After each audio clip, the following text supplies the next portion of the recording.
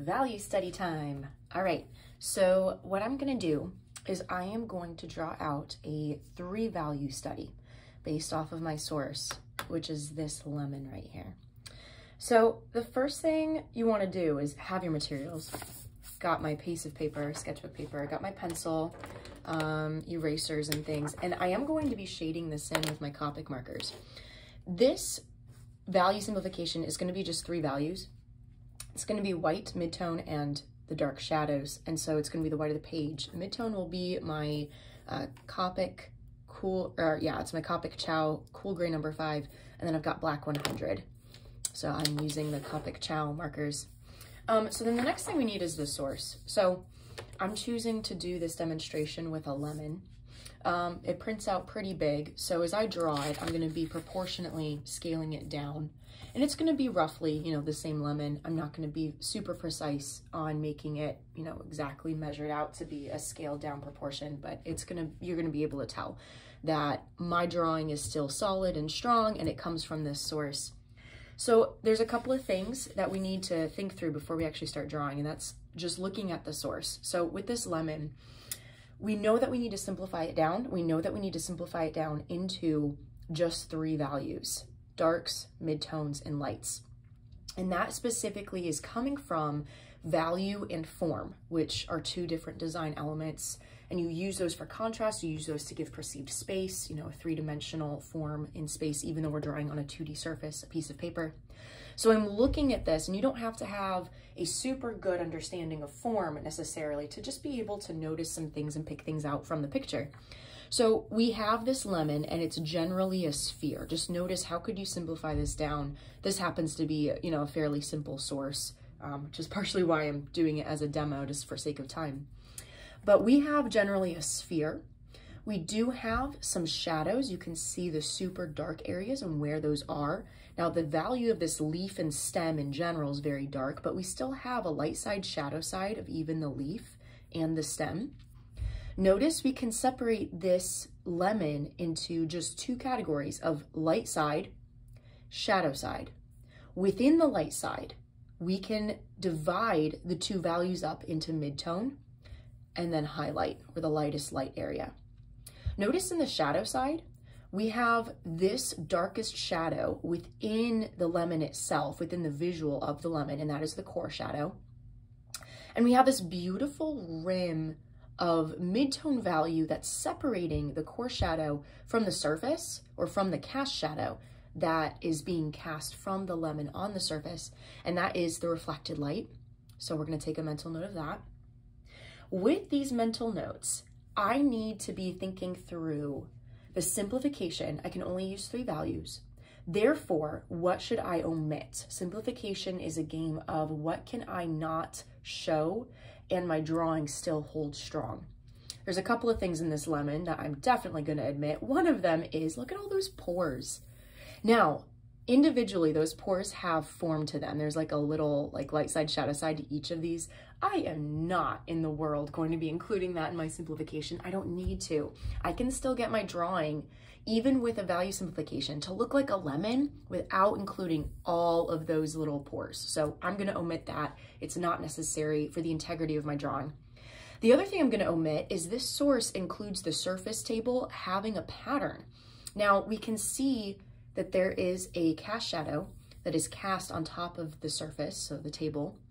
And if we squint, we can see these shapes clearer.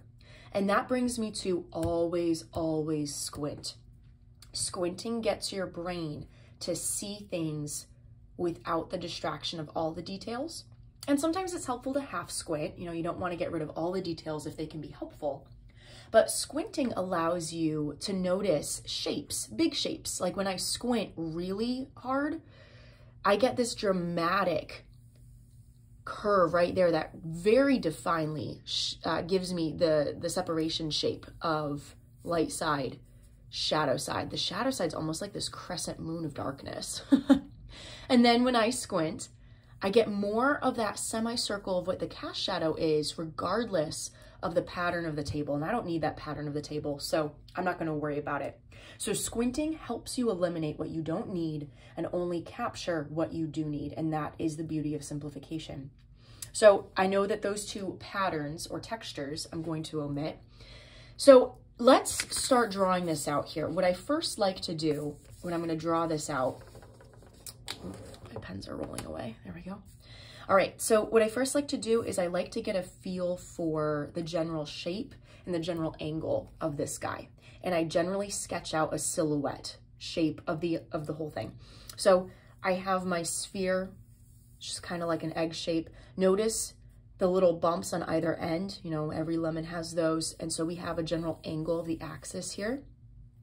So if I were to start with that, I want to make sure this is in the, the frame. Okay, so that's, you know, not like the most perfect thing ever. It's a very light circle. It's a little bit longer than it is wide. And I'm not measuring, I'm not doing anything very specific to get this proportionate. I'm just noticing amounts of space. And when I drew down my little circle here, I noticed that even visually, there was a proportion difference. Mine was just a little too long. So although it's not a big deal, however, I did notice it, I'm just gonna make it a little more accurate to the source just for sake of consistency, but that's pretty good. All right.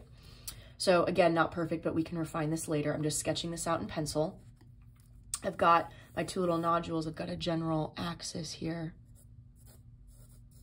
Something like that.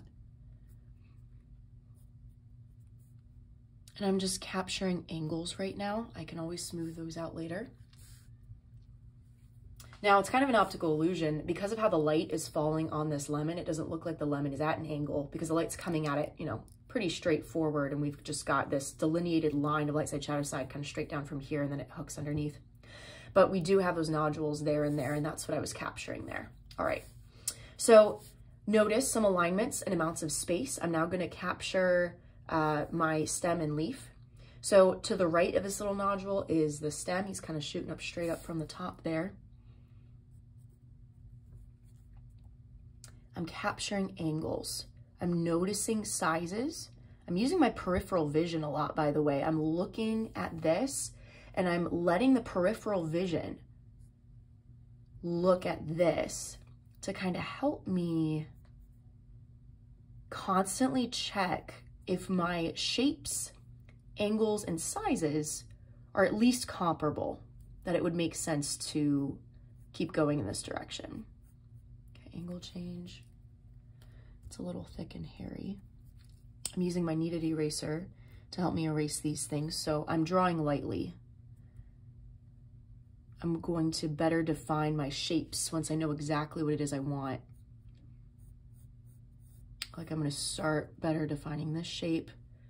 And in the end, these guidelines with my pencil are just guidelines with my pencil. I'm going to be filling these in with shapes of value.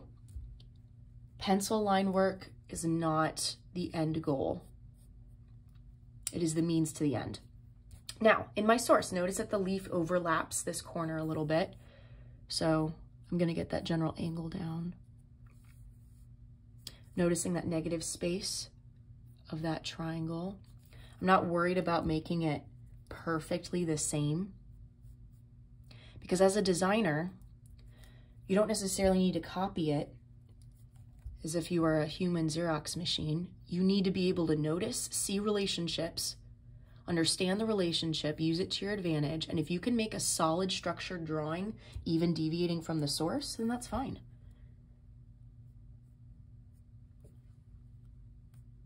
All right, so then this extends out that angle right there. And I'm gonna make that overlap just a little bit more just to make it uh, like definite that we are overlapping this.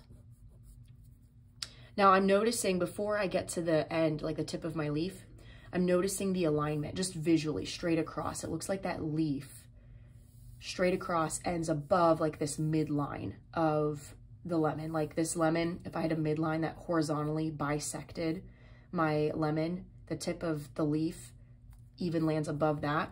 So that would mean that my leaf tip probably needs to land somewhere comparable. That matters just to me right now it matters because I don't want the leaf to look like it's taking over the show. This is about the lemon and the leaf helps support that message. The leaf supports the lemon, which is what my story is about. So that's pretty good. I'm just going to leave it like that. Again, it's not perfect, but notice though, even with it not being perfect, can you tell that this obviously came from this source? I didn't even measure. Like I didn't do any sort of, you know, compare width to height. I just visually assessed masses. I visually assessed shapes and space. All of those key design element terms. All right, so now I'm going to better define. Notice, by the way, there's like a little crater happening here. Now, I'm not looking at this lemon in 3D, so I'm not totally sure what's going on with the form, but there's obviously a divot somewhere that's causing this change in the silhouette shape. So I'm going to choose, as the designer, I'm going to choose to just omit it. I'm not blindly copying this. I'm noticing things in the source and I'm choosing. Do I want to keep it? Is it necessary for the integrity of my structure in the drawing? Or can I omit it and be fine? Something like that, I can omit that and no one's gonna know. Remember, when you're creating designs, no one is necessarily seeing where you got the design from. They're not looking at your source. You need to be able to stand on your own with your own artwork.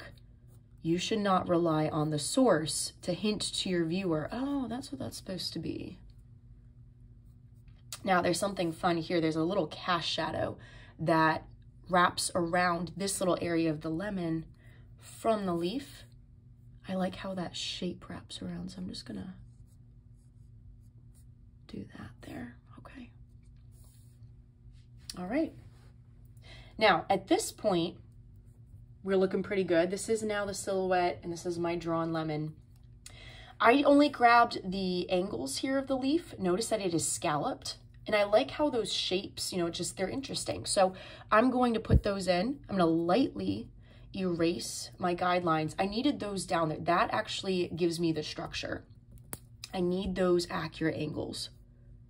But now that I have them and I can use them as guidelines, I now can come back in and give me or give myself that nice silhouette complexity.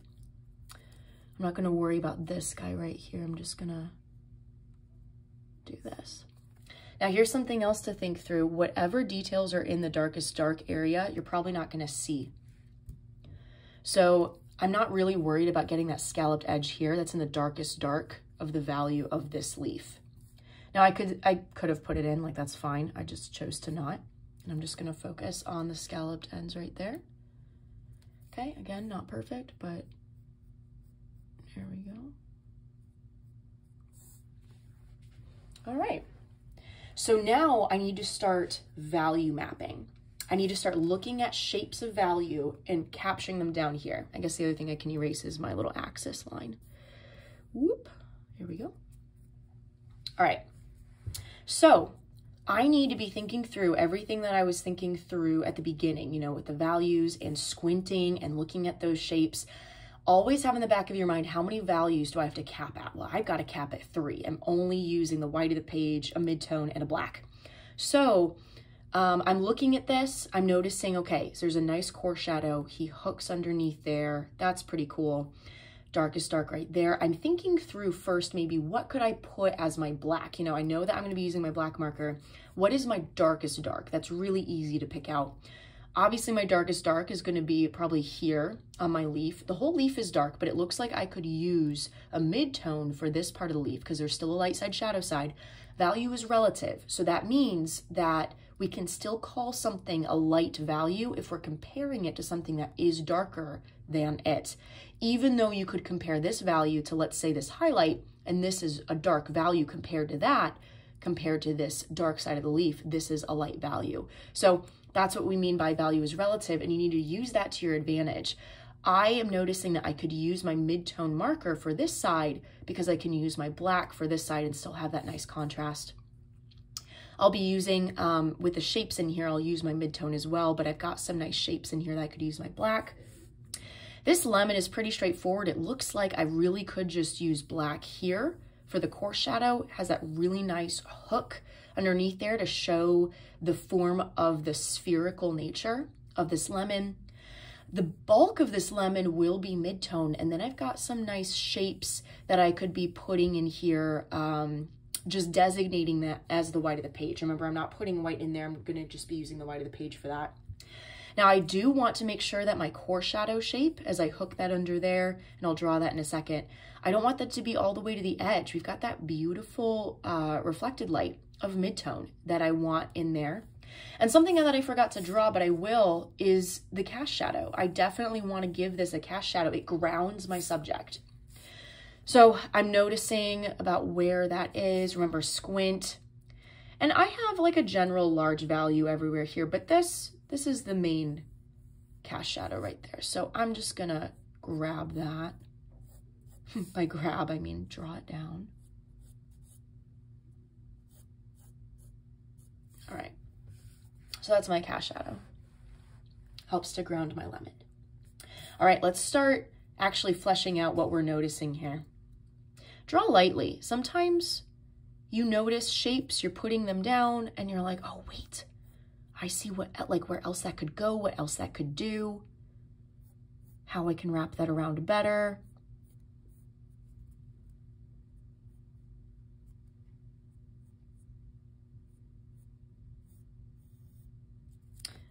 I'm noticing that this tapers. I want this to taper.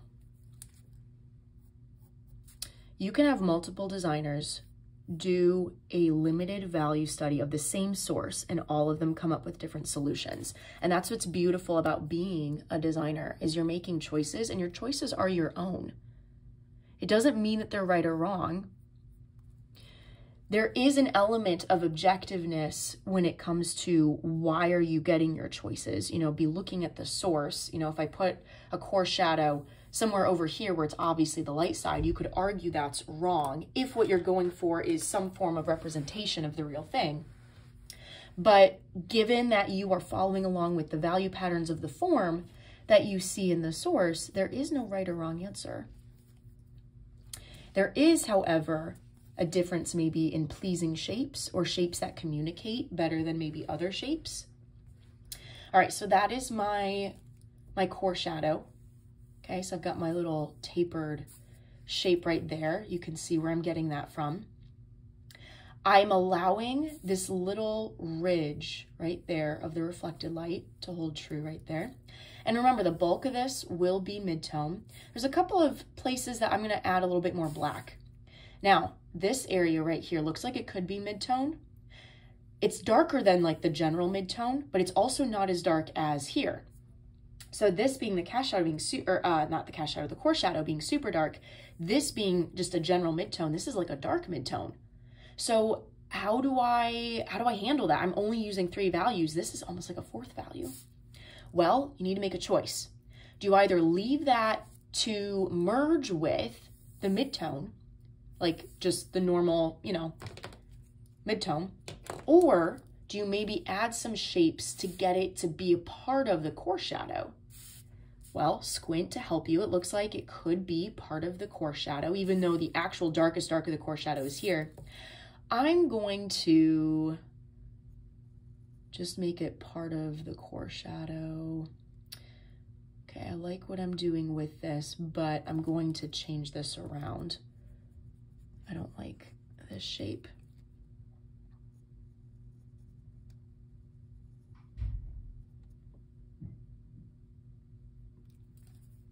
I'm gonna add a little bit more space. I haven't talked about shape language. Shape language is the language of your shapes. Some designers use it to describe style. What style you're doing this in. So the style I'm using is very like bubbly kind of flowy shapes. I'm not using any um, like jagged, aggressively angular shapes. Everything just kind of flows.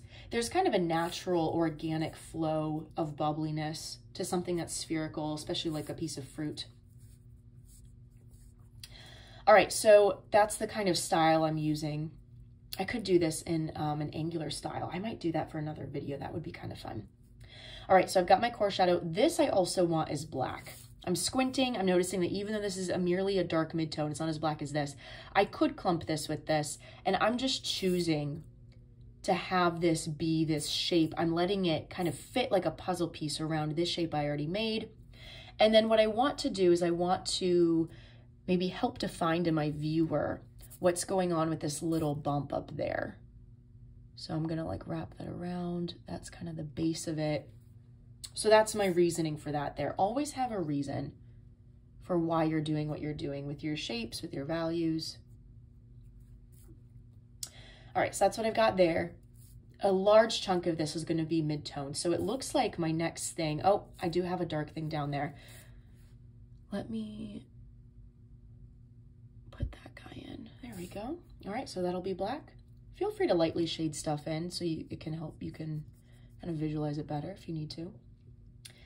Let me finish the lemon and then I'll go on to the leaf. So I've done the blacks of the lemon. I know the majority is going to be mid-tone. I'm noticing that there. I'm squinting.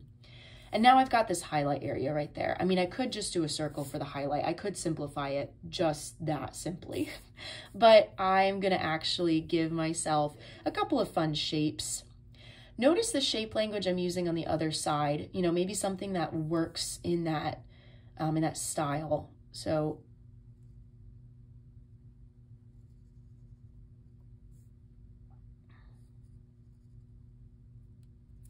Maybe something like that. Do you see how in this highlight area, I kind of have this larger chunk and then we maybe have a smaller chunk and that's where I'm getting this from. And I'm getting this shape language because I, I was using kind of a similar shape language on the other side, that same shape style. Now I need to be careful here. I don't want my lines to be ambiguous because this is where my midtone marker is going to butt up to this, but this needs to be the white of the paper. So I want to make sure that I'm not seeing like ghosting or anything um, going on in there where it needs to remain the white of the paper. All right, so continuing on here, I want to speed this up because I'm going to actually, you know, shade this in. Um, okay, so I've got my stem and my leaf. I've got darks and midtones as, you know, my two-tone light side, shadow side of the stem and the leaf. Notice I've got these nodules here. Do I need to include them to have the integrity of this stem to hold true? No, I, I really don't. so I'm going to, within my drawing here, I'm to just omit them. And I'm separating. So this now is midtone. This is to be the darks. I'm to just have this whole stem be dark. And this is why, even though I could see that this technically is lighter than this, Remember what this is budding itself up to. This is the danger of simplification. Sometimes things will bleed into other things and it could be cool or it could be detrimental. So if I separated this area right here of black and then midtone, what's right next to that? This is also midtone. So that's going to bleed right in there and it's going to end up looking probably like this stem has a strange shape and there's a strange protuberance from this lemon. So I'm gonna just simplify this stem to just be black.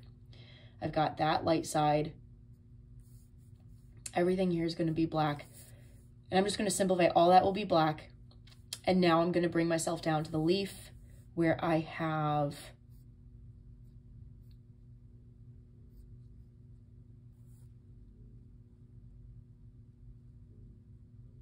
nice shape.